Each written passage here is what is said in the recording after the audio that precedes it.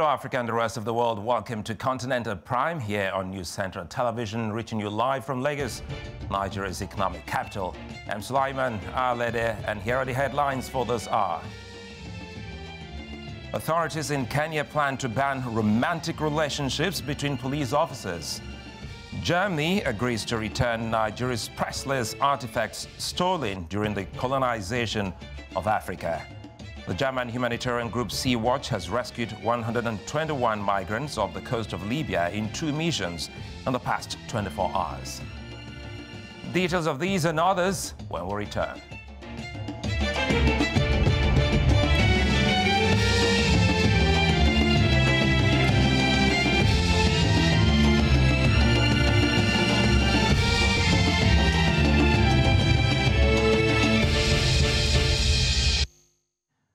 Begin the news. Those are in East Africa, where authorities in Kenya plan to ban romantic relationships between police officers. The Interior Minister, Fred Matiang'i, says uh, the move is aimed at reducing the high rate of crimes of passion among officers. Matiang'i says that the regulations need to be approved by the National Security Council, which oversees all the country's security forces. According to him, in the last few months, there's been an increase in spousal murders among police officers. Subject to the clearance of the National Security Council, we will create a new Office of Ethics and Gender Relations directly under the Inspector General. We will adopt the system that has been adopted by the KDF, for example. You are officers. We do not expect you to live here and go to have affairs with your constables whom you are managing. When it gets to that point, one of you has to leave. Because we must maintain a certain standard of conduct in the police service. We are even insisting to the Inspector General that cases of sexual harassment in the service will be orderly room proceedings type of cases, and the officers who are involved should be stripped of their ranks and gotten out of the service. We cannot hope that if we are not disciplined ourselves, we will be able to discipline those who work with us and we'll be able to offer competent and efficient services to our people. I'm now joined by Byron Adera, ex-Kenya's Special Forces security analyst, to unpack this further. Uh, good to see you, Byron. Uh, quickly here, the source spousal abuse and sexual harassment has been on the increase among couples in Kenya's police service. What could be responsible for this? Good to see you, Sloman. I mean, uh, uh, thanks for the question. Very important as well. Uh, I mean, uh, the CS is uh, not any further from the truth. I mean, uh, from where I come, the KDF, the Kenya Defense Forces, as they say it, it's something that's um, unequivocally spelled out and uh, it's worked fairly well. So, I mean, the CS did not look any further than just an arms away when it needed to benchmark with where this has absolutely scored some very positive goals.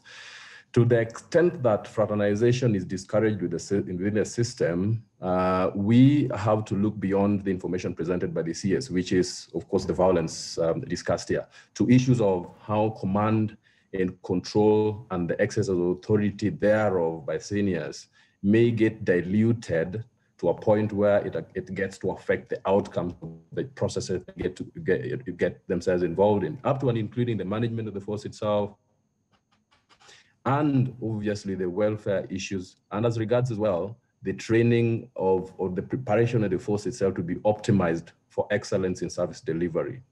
Uh, what has happened, I think, and which of course is rare, as I said, in different uh, postures where we have uh, spousal, you know, violence of, of, the police officers engaging in acts that end up taking their own lives of the lives of the spouses, is to an extent um, a deeper problem where uh, we have relationships that are sprung up between senior officers and the junior officers have, you know, to a, in a way engaged watered down issues or even training so the preparation itself for the force, and of course the other delivery of service where you find a spouse of maybe a senior officer, perhaps uh, uh, you know uh, disobeying command from other junior officers who are senior to them and who need to task them to do a duty or two. And to a large extent as well, this affects the way you know, relationships, um, are, it, work relationships as such are, are, are, treated between some officers who are engaged with the seniors in this kind of illicit affairs and end up, you know, disobeying, you know, command and there or, or tasks in terms of, um, you know, where they're supposed to be delivering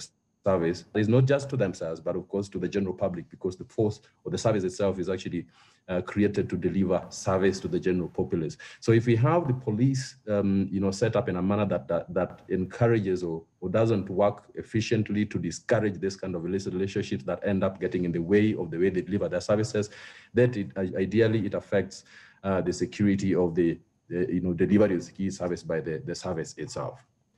You know, Byron, uh, off the, the top of my head, I'm thinking this goes beyond love being blind. And again, you know, looking at what is happening now, how can this law effectively address uh, what uh, is termed sexual harassment, especially between uh, a senior officer and a junior officer? Oh, fine. Uh, love, love may be blind, but uh, it may be unblinded by uh, a lot of things. One of them would be the way uh, we, we, we, we, we socialize and, and, and, and build organizational culture that is optimized uh, to help overcome some of the, you know, getting stuck in the mud with, with things that may not be as absolutely important.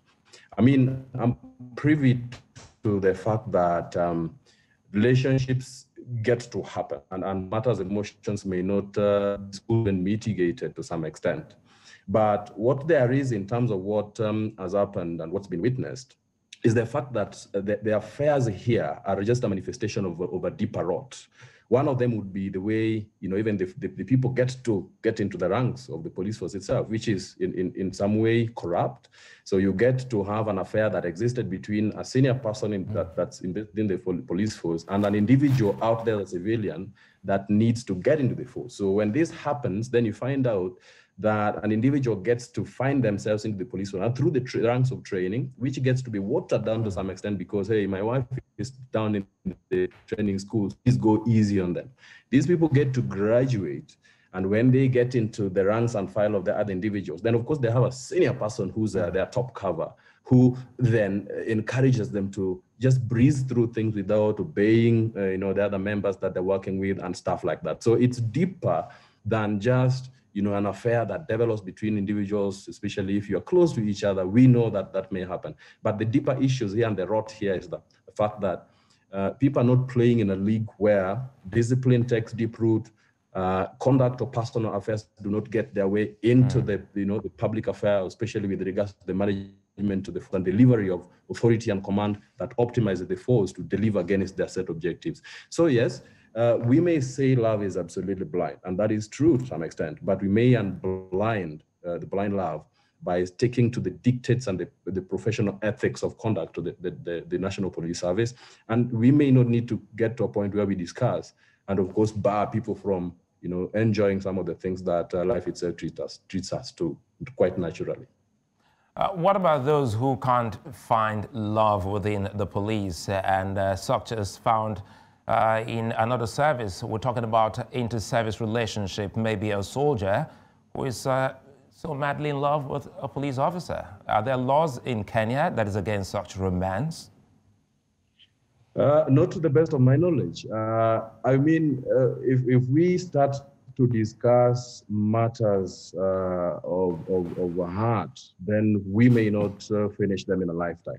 But ideally, uh, I do not know of any guidelines between the National Police Service and the KDF. I know of members of the uh, the KDF, the Kenya Defense Forces, that have you know have successful marriages that um, are flourishing between them, so that the National Police Service. I mean, I may need to mention at this point in time that uh, discipline and, and, and, and issues of professional practice uh, may need to be treated a lot more important here.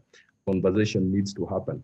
That you may you may have an affair that that exists because love may be blind, as you say, but if we are all professional and we treated ourselves to the most important business at hand, and of course we get into this business knowing what to expect and the job descriptions that the TORs, I do not know why then this get watered down to a point where we now need to discuss issues of the way we manage our love affairs and things like that. So ideally, the most important question here for me is the fact that uh, people get into this job, they lose centeredness uh, professional ethics get watered down and where other unimportant issues uh, get to now find center stage to a point where they are now on the desk of, of, of a cabinet secretary to discuss and tell, you know, uh, literally adults that this may need to be controlled because if you are in an affair with a junior person and that junior person gets to mention your name to their, you know, commanders that, you know, I'm known to so and so and so, I don't need to take command from you, that then that actually gets, uh, you know, to affect the entire service with regards to the way they operate and deliver against their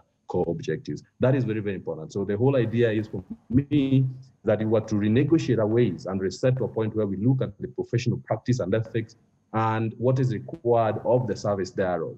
Then we may right. need to, uh, yeah, you know, res, you know, have a look at the way our personal conduct um, with regards to we treat our affairs do not need to get in the way. So the well, I think it's a fine, it's a fine place, uh, Byron, for us uh, to uh, wrap this. Uh, many thanks uh, for your time, for unpacking this for us, Byron Adare, ex-Kenya Special Forces uh, security analyst there for us. Now, staying in East Africa, Tanzania's President Samia Hassan has been elected as the chairperson of the country's governing party. Hassan was the only candidate for the leadership of the Chama cha Mapinduzi party.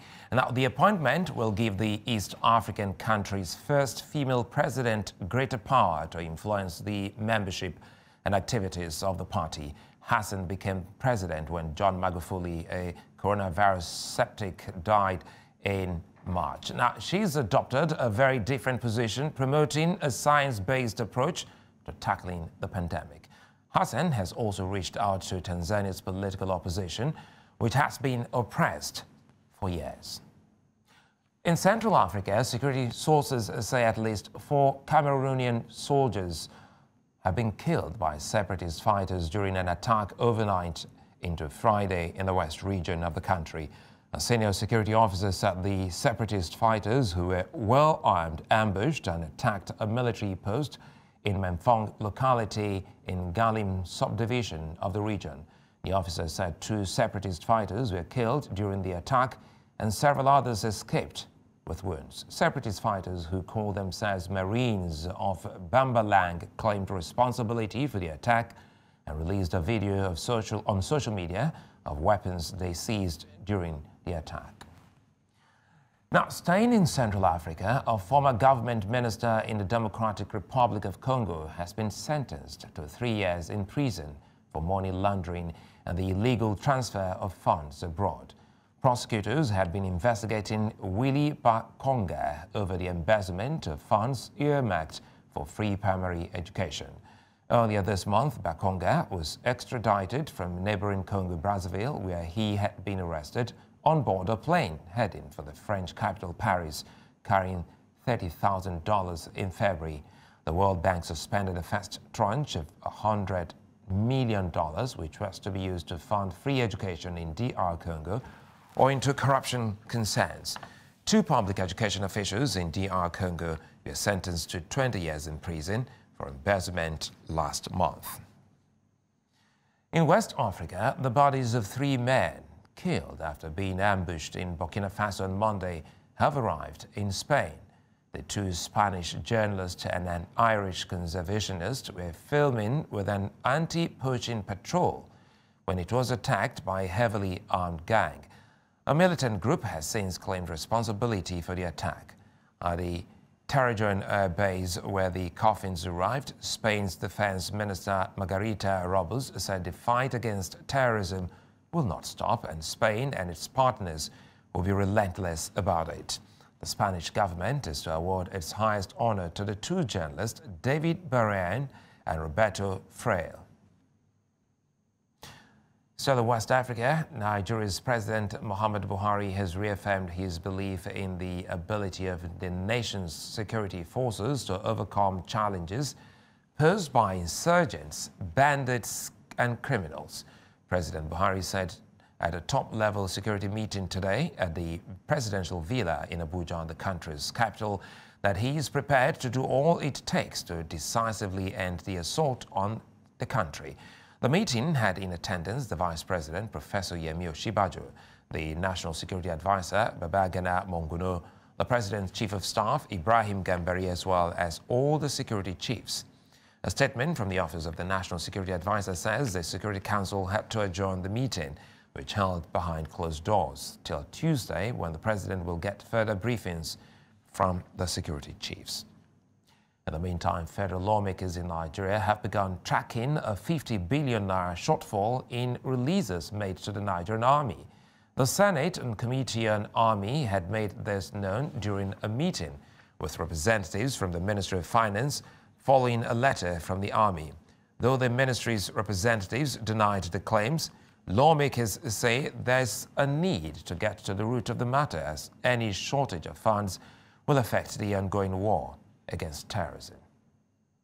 The, the issue of insecurity has become a recurring decimal and an embarrassment to this country. And if the stories that we hear every day from all parts of Nigeria is anything to go by, it is only a matter of time that this system that we call government of Nigeria will collapse. And I think that nobody in any position of authority today will want to accept that Nigeria will collapse on his head. If you say you have made a release of 100%, here is a letter indicating that from the time of the introduction of Operation Lafia Dole, they have a shortfall outstanding of 50 billion. So okay. if you are paying them 100%, okay. how come do they have a shortage of 50 billion? They wrote a letter to me here requesting us to follow up with you. Distinguished colleagues, I see, I hope you see. Let me explain. The discrepancy. I can explain when you say you have made 100%. They, uh, they are still working on the, this in, in, the office. So we are going to submit to the secretariat. But this, essentially for the two operations, if you look at it, serial number one, 2019, 75 billion was appropriated. The same was released 100%.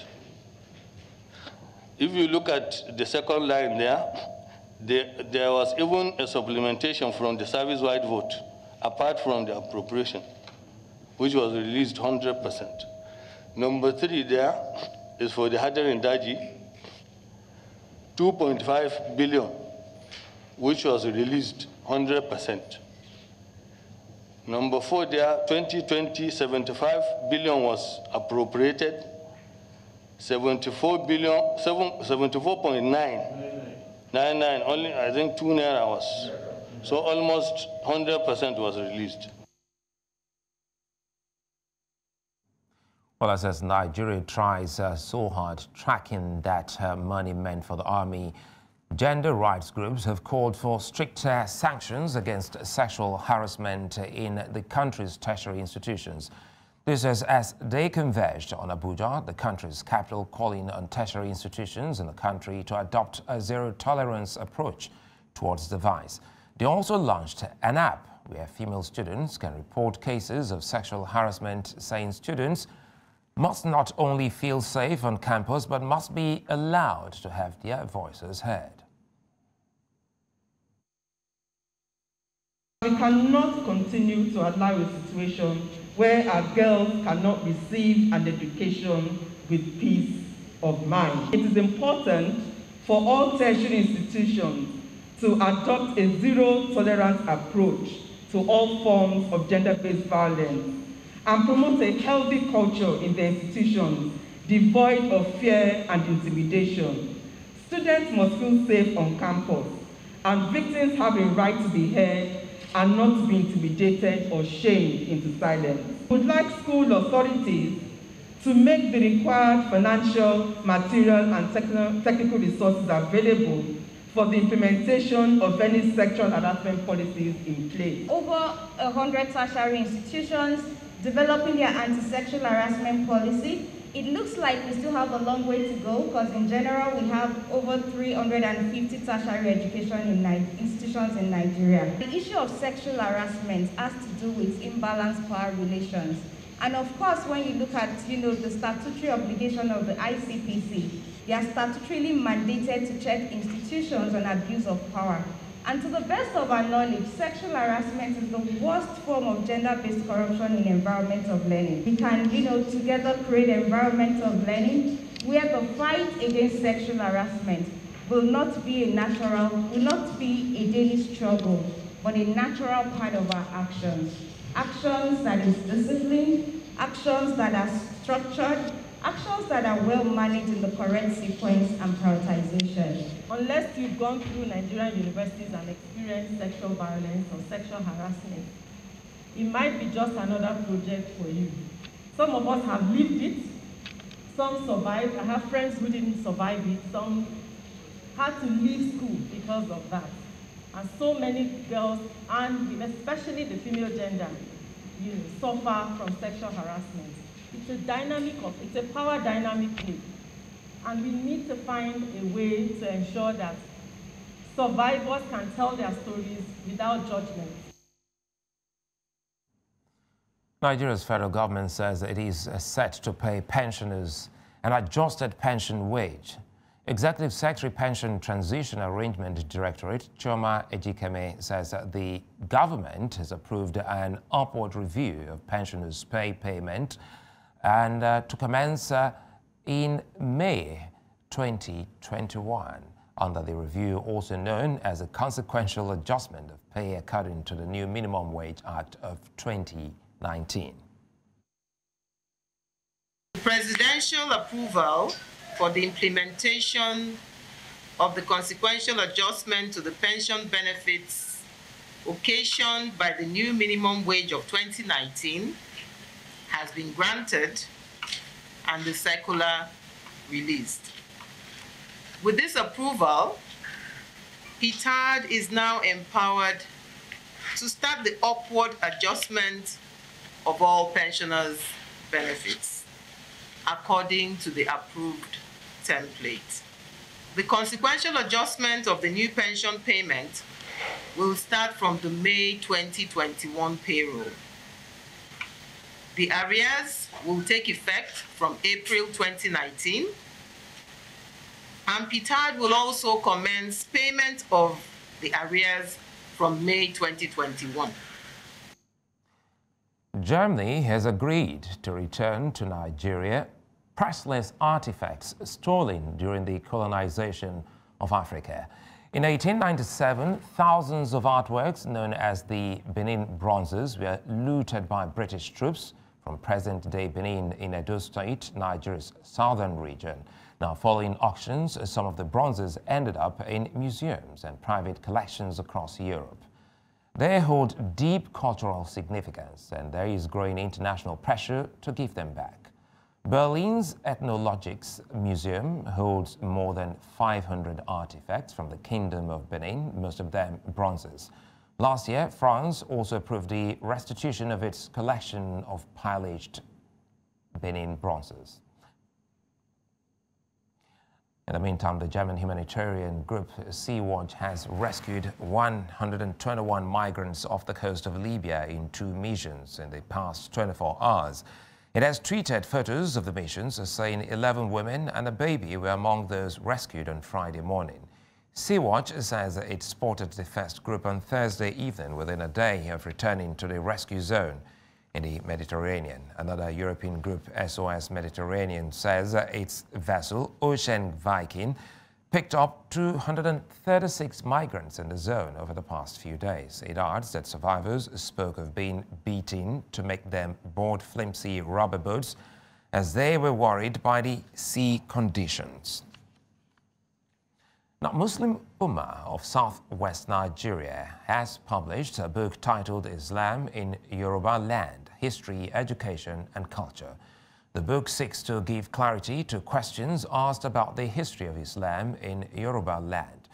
News Central's Bernard Akedi attended the book launch and brought back this report. For centuries, the history of Islam in Yoruba land has been something of a controversy. In order to set the record straight, the Muslim Ummah of southwestern Nigeria, Muswen, launched a book titled Islam in Yoruba Land History, Education, and Culture. The book launch was well attended by government officials, Islamic scholars, religious leaders, and custodians of Yoruba tradition and culture like the Oniru of Iruland and the Oni of Ife.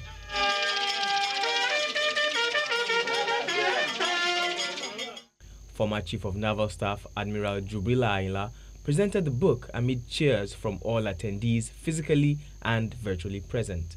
I want to commend Muslim, as Muslim Society of Western Nigeria, for putting this together and for all it has been doing to bring together all Muslims in the southwest of Nigeria. Muslim President General Alhaji Rasaki Oladejo described the book presentation as historic for Muslims in southwestern Nigeria. According to him, it was a realization of a dream to set the historical records of Islam in Yoruba land straight. Virtually all the books written in English language about Islam in Yoruba land were in accordance with the perceptions of their writers. In defiance to the divinely guided norms of Islam. This was because the earliest Yoruba Muslims did not trust enough the pouch in which Western system of education was cleared at its inception in Nigeria. Bismillah Rahman Rahim. Now.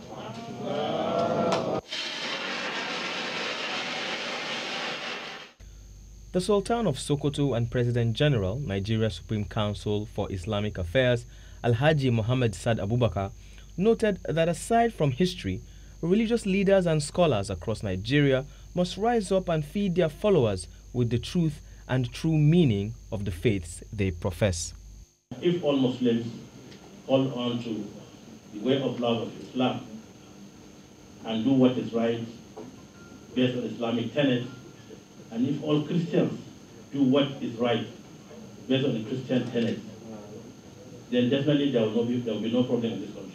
The Oni of Ife, in his closing remark, called for a harmonious relationship among all tribes in Nigeria, irrespective of their religious backgrounds.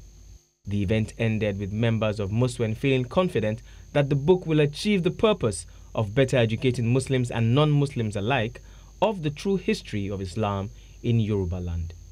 Bernard Akede, New Central Lagos. Coming up, Stephen Karanja, a Kenyan doctor who became a vociferous opponent of the COVID-19 vaccine, has succumbed to the virus. Details of this and more when we return.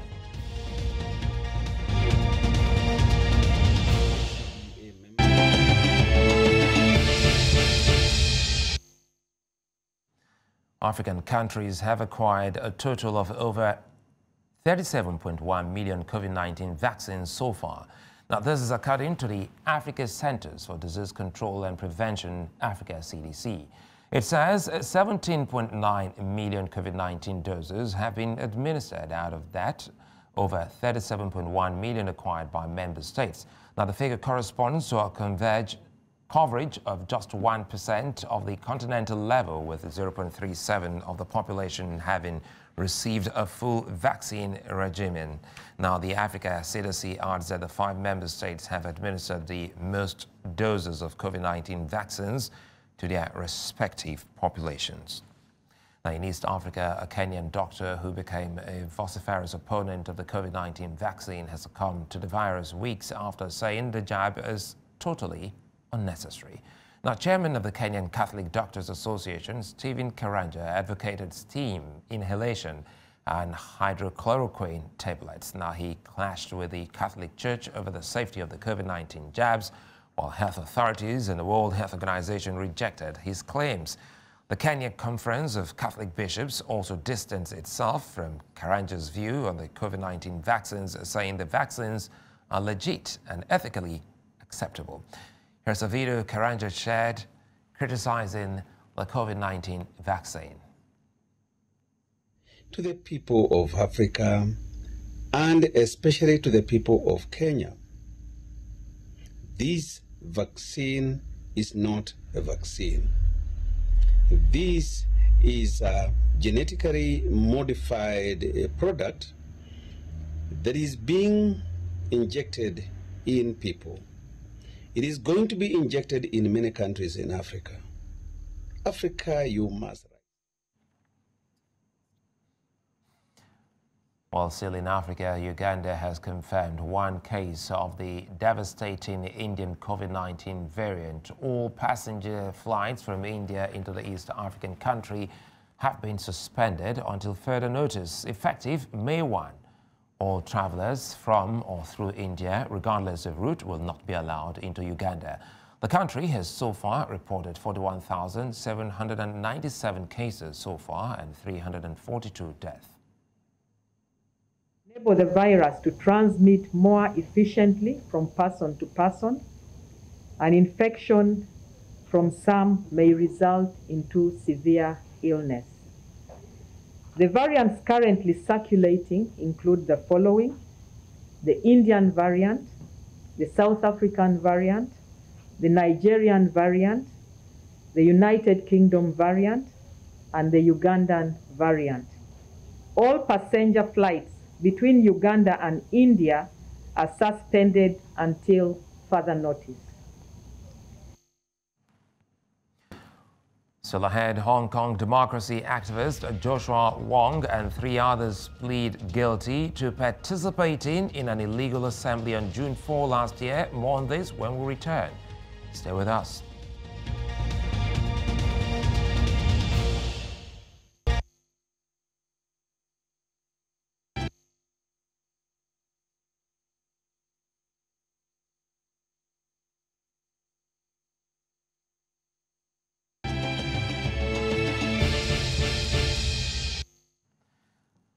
Officials in India's capital Delhi have been urged to find more sites for cremations as morgues and crematoriums are overwhelmed by masses of COVID-19 related death. Now, a second wave of the virus is ravaging parts of India with over 386 1,000 new cases reported on Friday. That's the biggest one-day increase on record for any country. Now, there were 3,500 deaths nationwide and nearly 400 in Delhi, a record for the capital. The total number of infections in the country has now passed 18 million. The first consignment of emergency medical supplies from the U.S. arrived on Friday. Part of what the White House says will be more than $100 million worth of support. The Hong Kong democracy activist Joshua Wong and three others on Friday pleaded guilty to participating in an illegal assembly on June 4 last year. The event was to commemorate the 1989 crackdown on protesters in and around Beijing's Tiananmen Square. Wong already in prison after he was found guilty of participating and organizing an unauthorized assembly during the mass 2019 pro-democracy protest pleaded guilty in a district court. The other activists who pleaded guilty were Lester Shum, Janelle Leung, and Tiffany Yuen. Another activist, Eddie Chu, asked for an adjournment, and his case will be heard on June 11, with 19 others facing similar charges. Now, First Bank of Nigeria has issued her first press release over the sack of her board members by the Central Bank of Nigeria on Thursday.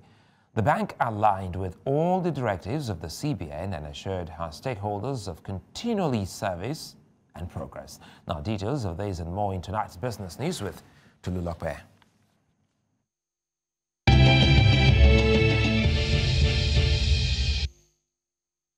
Thank you so much, Suleiman. And this is business on NC Continental Prime. We start in the eastern part of the continent where Kenya's Lamu Port's General Manager Abdullahi Samatar has announced that officials will start testing operations of the new Lamu Port at the end of next month, ahead of the June 15th commissioning. The first batch of equipment, including low load trailers, extension cargo handlers, and trailers to be used at the multi billion shilling facility, arrived at the port on Wednesday.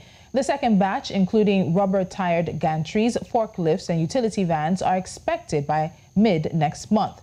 The viability of the port, which has seen the first three berths completed at about 5.1 billion Kenyan shillings, that's $48 million, has been put into question over low demand as it was expected to attract transshipment business, mainly from Ethiopia and South Sudan. The port is a key part of the wider Lamu Port South Sudan Ethiopia transport corridor, which is being implemented at a total cost of 2.5 trillion Kenyan shillings or 24 billion dollars. Moving to the southern part of the continent, South African Airways Plane Maintenance Division has announced that it is cutting jobs to help navigate the crisis that gripped the air travel industry throughout the coronavirus pandemic. According to a statement from the carrier's technical team, the restructuring is unavoidable in light of reduced demand from its airline customers. While the state owned company didn't specify how many employees would be affected, Derek Mans, a representative of the Solidarity Union, said about 60% of a total workforce of just over 2,000 could be eliminated. The airline has been mired in bankruptcy proceedings and its own major job cuts plan, while international travel restrictions to contain the spread of COVID 19 have hampered efforts to resume even partial service. Nigeria's banking sector is still coming to grips with the decision of the Central Bank of Nigeria to remove some members of the board of First Bank of Nigeria. We have the details in this report. The oldest bank in Nigeria has been in the news for the wrong reason since April 28, when the Ibukun Awosika-led FBN board sacked the current managing director, Shola Adeduntan, and replaced him with his deputy, Gbenga Shobo. The action led the Central Bank of Nigeria to query the decision. According to the governor of the CBN, Godwin Emefiele, since the now reinstated Adeduntan came into office, ended bad credit decisions, significant and non-performing insider loans, and poor corporate governance practices. A financial expert, Mukhtar Mohammed, shared his opinion. So when you talk about protection of customers, we understand that is being the CBN strategic role in any um, um, when it comes to finance of any bank. But we've not seen any any any any systemic crisis in CBA in First Bank that have to do with liquidity. Mm. We are seeing a crisis that has to do with managerial, managerial crisis, not liquidity crisis. So you can't be saying you are protecting customers because we've not gotten anything that has to do with that the bank was low in liquidity, the bank was not able to meet their demand. And those that are supposed to protect investors is not the CBN. It's supposed to be the Security and Exchange Commission because mm. they are the one that's strictly responsible for investors. So that's why we have the challenge initially. People said, why is CBN just protect? The CBN have told us that they are not always interested in the in, in, in, the in the shareholders when the bank is doing that. They, they are always interested in the customers, the depositors in those banks. So for them to say they are protecting the customers and also protecting the shareholders, uh, I think is, is one statement that has a lot in it that I, for one, doesn't understand. He had a projection into what could be the result of this drama. The CBN is still, is still something that we in the financial sector are still trying to digest and, and explain what move. But like I said, the, the MD is still there.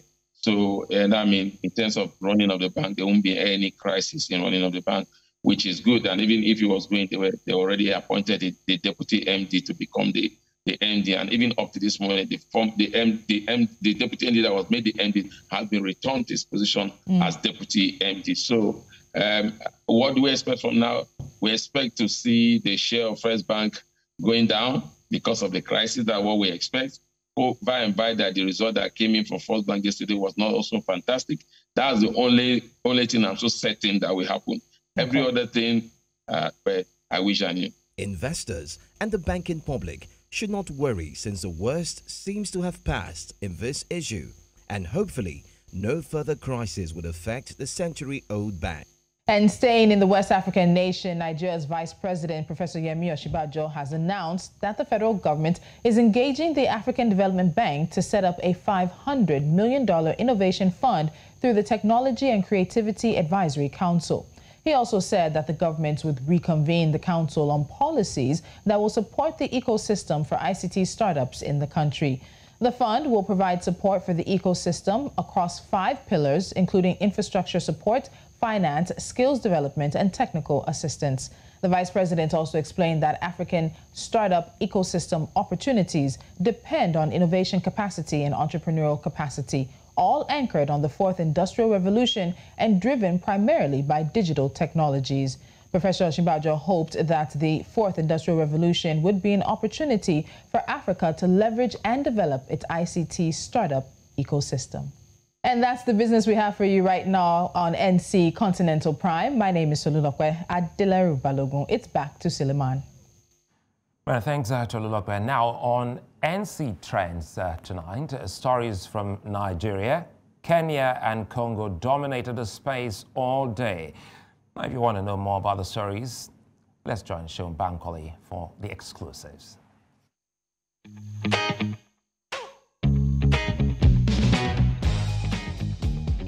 To resolve the lingering herders and farmers crisis, President Buhari introduced the Human Settlement Policy, also called the Ruga Policy, in 2019. So why is Ruga resurfacing across the timeline today? We'll find out in a bit. Welcome to NC Trendz. I am Shion Bankole. The presidency has urged Governor Samuel Ortom of Benue State to accept Ruga and cooperate with President Buhari if he wants peace in Benue. This comes after the recent killings in Guma local council of Benue State by suspected killer herdsmen, which was attributed by the presidency to Ortom's rejection of the Ruga settlement, a policy that Ortom described as deceptive and against the interests of Benue indigents, who are predominantly farmers. Now let's take a look at what people are saying online at JB Adamu said that Ruga is rejected by all Nigerians and there can be no Ruga in Benue or anywhere in Nigeria as Ruga will serve as slaughter abattoirs for Fulani herdsmen killings in Nigeria. Fulani should establish ranches for their cows and governments should have no hand in it. Ranches are private businesses. Senior man Omoluabi once tweeted that it is the people of Benue that should fall victim to this Ruga of a thing. Benue tradition will be a thing of the past because Fulani will take total control of that state, then install their emir. Cattle business is a private business. The government of Benue State should ban cow meat. Now to the last tweet on that one. Uchenna Odogu tweeted, It was so obvious. Borno, Niger, and Kebbi State have enough land to cater for all the cows in West Africa, not just in Nigeria. But no, small Bayelsa state with seven local governments should still release land for Ruga. Hmm.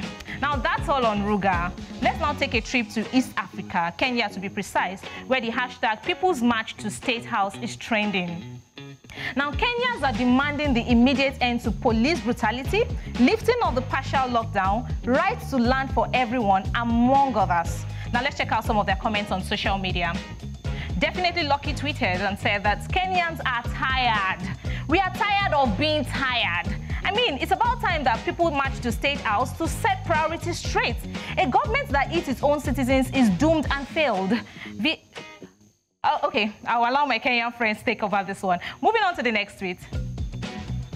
Social Justice Center's working group tweeted, the government has failed Kenyans in so many ways, including depriving its citizens basic commodities according to Article 43 of the Kenyan Constitution. Finally, on that one, Dr. Lucy Kirutu tweeted, Will the hashtag People's March to State House be virtual? I'm asking for a friend. All right, that ends it on Kenya. Finally, on NC Trendz today, citizens of the Democratic Republic of Congo are crying out on social media in response to the violence and massacre going on in the Mulenge community. The Banya Mulenge people, often labeled as outsiders due to their Rwandan origin, have suffered continuous violence and genocide. On Twitter, at Happy Chris says that no one should be killed because of his or her ethnic origin, religion, or belief. It is now the time to intervene and stop the massacres against Banya Mulenge in the Democratic Republic of Congo. At United Nations and other NGOs, please do not fail again. Hashtag Save Mulenge. Karangwa Sewase, pardon me, says that the international community has to join hands to stop the killings that are targeting Banya Mulenge. We must not close our eyes. It motivates the killers. Hashtag save Mulenge. Finally, on that one, Anita says that is someone watching? How many more genocides will the world have to face to say no and actually mean no? Hashtag MONUSCO, are you there? I thought 1994 taught us something, but I was wrong. Hashtag save Mulenge. Now that wraps up NC Trendz for today. Let's get back to the news. Well, anyway, thank you, uh, Cheryl. Now, in sports, I got carried away looking at uh, those trending matters from across the continent. Now, let's talk about sports. The African Champions League and the Confederation Cup draws were done today. Udoka has the rest of that report. Uh, how are you doing uh, tonight, Udoka? I'm very well, and it's all about the CAF Champions League. Mm. All right, taking it away, a Friday's draw for the quarterfinal stages of the African Champions League and the Confederation, Confederation Cup has produced the tie that most football fans had hoped for. Now, record African Champions League winners Al Ahly of Egypt and the South African coach Pitso Mosimane will take on his former club Mamelodi Sundowns in the quarterfinals for a third successive season after the draw was made in Cairo. Now, the clash is also uh, putting Pitso Mosimane, the coach of holders Al Ahly, against his former club in an already tense rivalry. Now, the quarterfinal draw for the continent's secondary competition, the African Cup of Nations, and of course the Confederation Cup, was also conducted on Friday. Pyramids of uh, Egypt will take on Enyimba of Nigeria. The quarterfinal ties will be played on the 14th to the 15th of May and uh, the 21st to the 22nd of May. Now, the semifinals are set for June 18 and 19 and June 25 and 26. The Confederation Cup final will be played on the 10th of July, and the Champions League final will also be played on the 17th of July. The venues for the finals have yet to be determined by the Confederation of African Football. A great one to look forward to talking about the CAF Champions League and the Confederation Cup. Moving on to our next story, the Malagasy Football Federation has suspended its French coach, Nicolas Dupuy, until further notice without pay. In a letter to the coach, the FMF said the coach spent more time pursuing commercial interest for personal publicity than on the team whose image had uh, recently regressed. As a result, Dupuy was said to have been neglecting his main role of managing and his deputy his duty of supporting the Malagasy football, while the Frenchman, who has yet to comment, is serving a suspension, Eric Rabesandratana, will be in charge of the national team as head coach. Now, the former Paris Saint-Germain defender will prepare the team for June's opening 2022 World Cup qualifiers at home to Benin before traveling to play Tanzania. Now, was appointed by Madagascar in 2017 and led the team to a maiden appearance at the African Cup of Nations uh, two years later. Moving over to South Africa, a huge turnout of canoeists for the recent South African Sprint Championship at Shongweni Dam ensured the event was a success despite the packed calendar. Now, national champions were crowned from under 8 to seniors, underscoring the continued resurgence of interest in flat water paddling in the country. Now, paddlers from all over the country descended on the dam for the championship that gave a number of young aspiring paddlers the opportunity to race on the national stage for the first time as the event doubled as a selection event for the Junior World Championships, uh, which is coming up later this year, but also for the Olympic hopes uh, for the regatta. Over the three days of racing, over 270 pad paddlers took to the water in the various age categories, with the boys under 14 age category being the biggest group with 39 paddlers fighting it out for the honors which were claimed by Ayanda Mpiti from the Asizenzele Primary School in Cato Ridge. Now, the men's overall crown went to under 23 star Alex Masina ahead his fellow under 23 paddlers Sam Bocher in second and Jody Marebe in third. Now, moving over to uh, uh, rugby now, Ireland's planned summer tour to Fiji has been cancelled because of uncertainty caused by the pandemic. In the past week, lockdowns have been announced across the Pacific country, including the capital, Suva, amid a rise in COVID-19 cases. Now, the IRFU says the recent developments mean that planned tour scheduled to be held in July is no longer viable. And the governing body remains hopeful of arranging alternative test matches for the July international window. Now, Ireland were hopeful of traveling for a three-test series with head coach Andy Farrell ruling himself out of the running for a place in Warren Gatland's British and Irish Lions coaching staff in order to focus on his Ireland role. Lastly, Cheetahs centre William Smith uh, has announced his retirement from rugby due to the effects of a serious head injury. And the 29-year-old Small Smith hung his boots following a 10-year professional rugby career after sustaining an injury during a Currie Cup match against the Sharks in December 2020 in Bloemfontein. William has been medically advised to retire from the game, and the talented midfielder joined the Cheetahs in 2016 and made 91 appearances uh, from 25 Currie Cup, 5 Super uh, Rugby Unlocked, 47 Pro 14, and 14 Super Rugby. He made his professional debut for the Blue Bulls at under 21 level in 2011 and represented the side in 7 Super Rugby and 15 Currie Cup matches, bringing his career total to 113 professional caps. William Small Smith represented South Africa on the international stage, winning gold medals as part of the Springboks seven teams and the Junior Springboks. Now, the South African website wished William Small Smith nothing but the very best with his future plans. And that's a wrap on the sports update on the news. I'm Udoka Njoku. Back to you, Sulai. Well, many thanks, uh, Udoka. Now, uh, I'm forced to ask uh, you what kind of uh, music you love, uh, what genre of music you love, rap, trap, Afro, well, fusion, or jazz? Actually, I'm a big fan of um, rap and soft jazz. Never mind, I'm not going to ask you to rap. Thank you very much, because now the International Jazz Day has had extraordinary successes over the past decade, becoming the world's largest annual celebration of jazz. Now, Sam Dandy on Entertainment News uh, focuses on this special genre of music and what the International Jazz Day entails.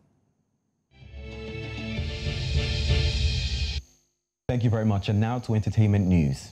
Jazz, a genre of music heavily based on swing, blue notes, and complex chords, picked up speed and mastery across various countries into different styles and forms. Celebrated on the 30th of April, International Jazz Day honors the sound and all the beautiful music this genre has influenced. Now, News Central's Chidima Ihanitu has more in this report.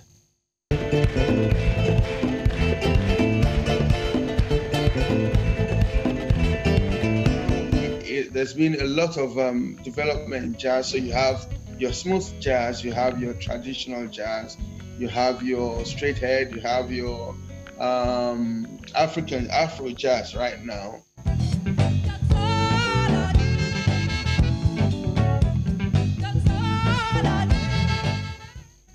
International Jazz Day is celebrated on April 30 every year.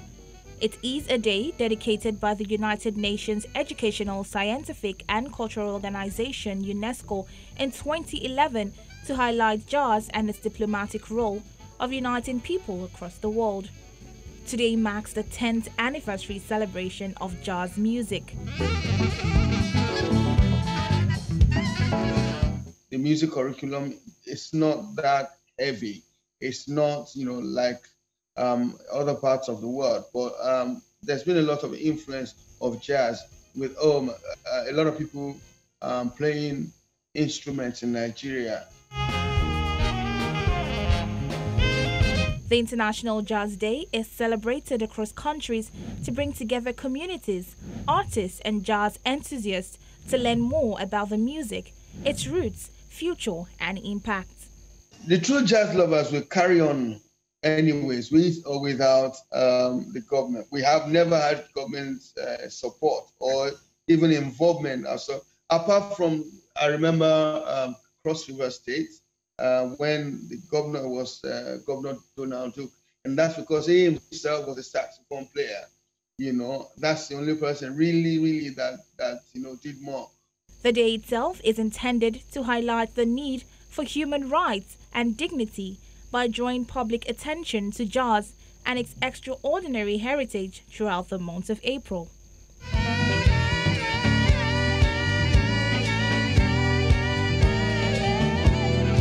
Jazz is the essence of music. Um, jazz is also, I mean, it's everything. Jazz is, music is nothing without jazz, as far as I'm concerned. International Jazz Day is undoubtedly a celebration to be aware of and participate in if one is looking to expand his horizons and music knowledge. Happy International Jazz Day! Chidima Ihanitu, News Central Television.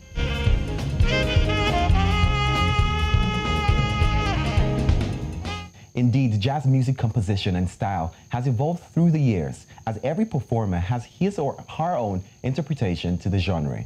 In Africa, many recognize the Kuti family as the most influential in grooming and evolving the jazz sound. Into what many now call Afrobeats.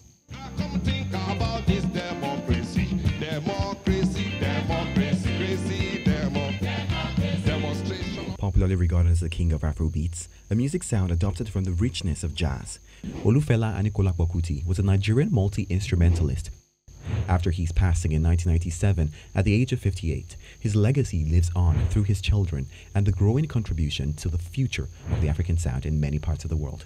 Today, many of the most successful African and Nigerian artists have attributed their inspiration and that of the music industry to the Afrobeat sound Fela pioneered decades ago. His children have also followed in these footsteps. as activists and as musicians.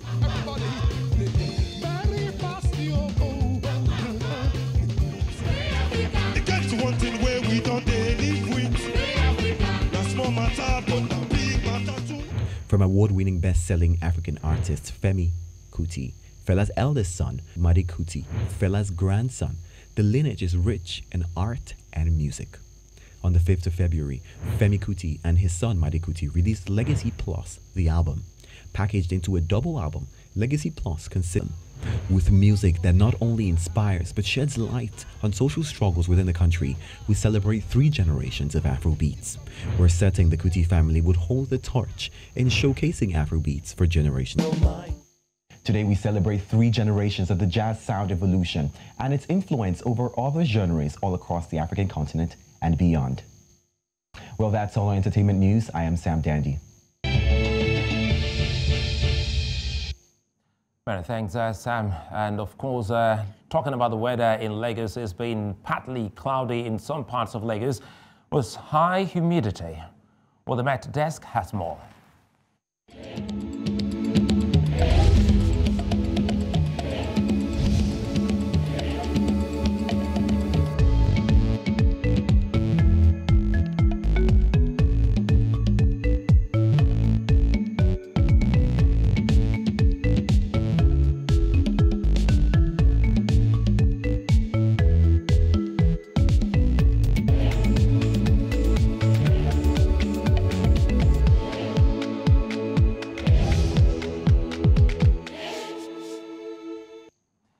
That's all on the news at this hour. But before we go, let's bring you a recap of our top stories.